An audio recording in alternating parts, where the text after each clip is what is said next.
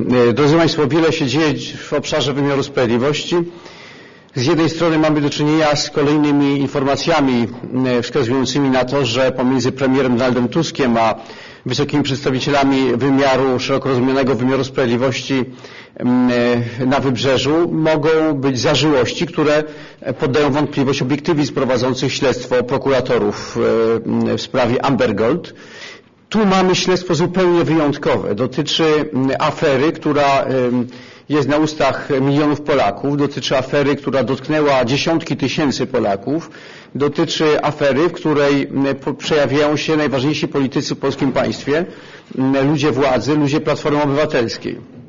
W tej sytuacji, wobec licznych doniesień wskazujących na to, że za aferą Amber Gold i za bezkarnością pana P., który stworzył mechanizm oszustwa na wielką skalę, obejmujący cały kraj, kryje się coś więcej niż tylko nieudolność, niekompetencja polskiego państwa, jest e, jak najbardziej uzasadnione, aby prokurator generalny podjął decyzję o przeniesieniu tego śledztwa do e, innego e, innej apelacji, innego okręgu e, prokuratury, kierując się dobrem wymiaru sprawiedliwości. Dobro wymiaru sprawiedliwości w tej konkretnej sprawie wymaga, by śledztwo było prowadzone przez innych prokuratorów niż ci, co do których istnieje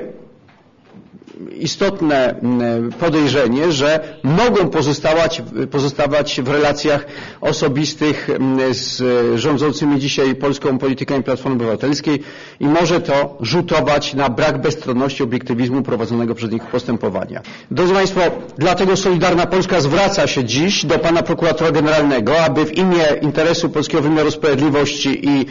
dobrego wizerunku wymiaru sprawiedliwości podjął decyzję o przeniesieniu śledztwa z prokuratury okręgowej w Gdańsku do innej prokuratury w Polsce w sprawie afery Ambergold. Jest ku temu bardzo wiele przesłanek i argumentów, nie trzeba je dodatkowo powtarzać. Dalsze utrzymywanie śledztwa w prokuraturze okręgowej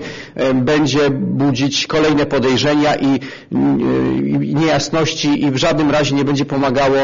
wyjaśnieniu tej sprawy, ani nie będzie budowało zaufania do wymiaru sprawiedliwości, który i tak bardzo wiele na tej sprawie utracił.